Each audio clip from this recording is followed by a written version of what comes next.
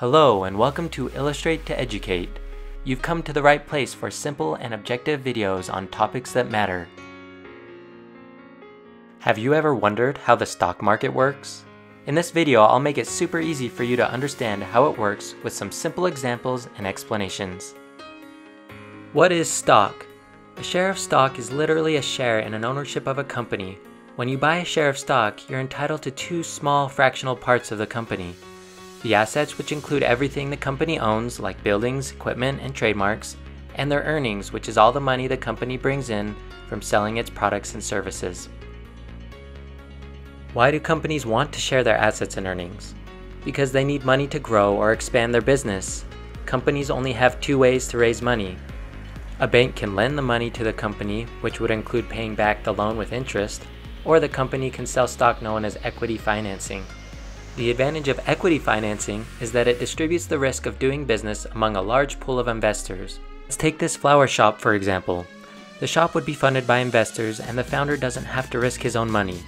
If the company closes down, the founder doesn't lose all of his money, instead the investor's money would be lost. Next, let's talk about selling shares. For simplicity, let's use a hypothetical example to explain the basic principles behind issuing and buying stock. Let's say you've always dreamed of opening a donut shop, you love donuts, and you've done your homework to figure out how much it would cost to launch a new donut business. $500,000 for building and equipment, and $250,000 for annual expenses like ingredients, employee salaries, and utilities. Let's say you generate $325,000 in donut sales and make $75,000 profit. Not bad. The only problem is you don't have $750,000 for startup costs. You could take out a loan, but that accrues interest. What about finding investors who would give you money in exchange for a share of ownership of the donut shop? This is the logic that companies use when they make decisions to issue stock to private or public investors. They believe that the company will be profitable enough that investors will see a good return. In this case, if investors paid a total of $750,000 for shares in the donut shop, they could expect to earn $75,000 annually. That's a solid 10% return. As the owner of the donut shop, you can set the initial price of the company as well as the total number of shares of stock you want to sell. Let's say you set the price at its actual value of $750,000 and sell 100 shares at $7,500 per share. Investors could expect a 10% return.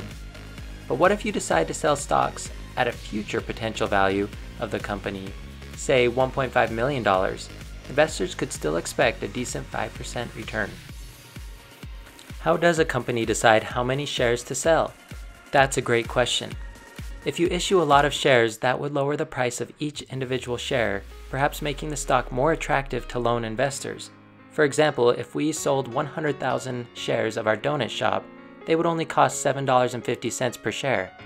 Another consideration is ownership. Each person who buys a share of stock essentially owns a piece of the company and has a say in how the company is run. We'll talk more about shareholders in a minute, but for now it's important to understand that as owner, you may wish to buy a majority of the available shares yourself so that you remain in majority control of the company. Let's talk about a stock exchange by going back to our donut shop example. If you were interested in recruiting a pool of investors, where would you find these people? You could place an ad in the paper, or you could contact friends and family, but this wouldn't work very well. A stock market solves this problem. Stocks in publicly traded companies are bought and sold at a stock market or stock exchange like the New York Stock Exchange. Think about why going to the supermarket is so convenient. Because you can buy everything you need in one stop. The New York Stock Exchange is like a supermarket for stocks. Think of it as a big room where everyone who wants to buy and sell shares of stock can go and do exactly that. Modern stock exchanges make buying and selling easy. You don't have to actually travel to New York to visit the New York Stock Exchange you can call a stockbroker who does business with the New York Stock Exchange, or you can buy and sell stocks online for a small fee. By using a stock exchange, you can buy and sell shares instantly. Stock exchanges have an interesting side effect. Because all the buying and selling is done electronically, we can track the constantly fluctuating price of stock in real time. Investors can watch, for example, how a stock's price reacts to national economic news, news from the company, media reports, and lots of other factors. All publicly traded companies need to issue quarterly earning reports through the Securities and Exchange Commission. If those earnings are uninspiring, shareholders might decide to sell some of their stock, which would lower the stock price. But if the newspaper reports an overall increase in popularity, more people might buy shares and the price would go back up. In a minute, we'll talk more about this. What is a shareholder? Shareholders are people who own shares of stock in a company, which entitles them to a say in how the company is run. Shareholders elect a board of directors to make the company's major decisions, such as the number of shares to be issued to the public. Interestingly, not all companies decide to have public shareholders. Companies can choose to be privately or publicly held. In a privately held company, the shares of stock are all owned by a small group of people who buy and sell their shares amongst themselves. A publicly held company is owned by thousands and is traded on a stock exchange. Why do companies issue stock to the public? They need to raise a large quantity of money quickly through an initial public offering. The corporation might sell 1 million shares of stock at $10 a share to raise $10 million in a short amount of time. The company then invests that money in equipment and employees. Some companies will pay an annual dividend to the shareholders from the profits.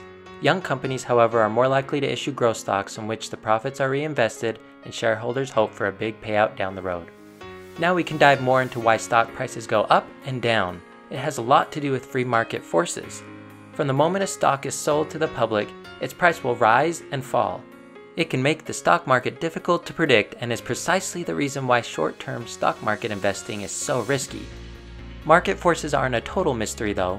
We know, for example, that prices rise and fall primarily because of the changes in supply and demand. If there are a fixed number of shares in circulation, then the price of stock will rise as more people want to buy it and fall as more people want to sell it. Tricky part is to figure out what influences demand. Why do people want to buy or sell a certain stock? Earnings and profits certainly play a large role. If your donut shop posts record sales in the most recent quarter, then it will probably attract more investors, pushing up the stock price. But earnings only tell half the story. What if the world runs out of flour or a health trend takes flight that discourages tasty donuts? This would push stock prices down. Remember, buy low, sell high like you can see in this example. The safest investments are slow growth stocks like Coca-Cola or IBM and riskier to go for the next big thing and cash out quickly after the stock price skyrockets. The inherent risk of the stock market is that any number of forces, logical or otherwise, can push prices up or down in recent years, we've witnessed the boom and consequent bust of two large stock market bubbles that formed around the internet sector in the early 2000s and the housing market six years later, or the coronavirus pandemic in 2020. In all cases, commodities became overvalued and the investors poured money into unprofitable or unsustainable markets. When the truth or fear came out, investors rushed to sell, sending stock prices through the floor. Lastly, let's talk about market averages. Have you heard of the Dow Jones Industrial Average, S&P 500, or the Nasdaq Composite? These are averages that give you a general idea of how the stock market is doing. The Dow Jones is a sum of the value of the 30 largest companies in America. Think GM, Goodyear, and ExxonMobil. S&P 500 is a value of the 500 largest companies, and the Nasdaq Composite is an average of all stocks listed on the Nasdaq exchange. Beyond seeing the general health of the stock market, if these averages rise together, we call it a bull market, and a bear market if the Dow Jones declines more than 20%.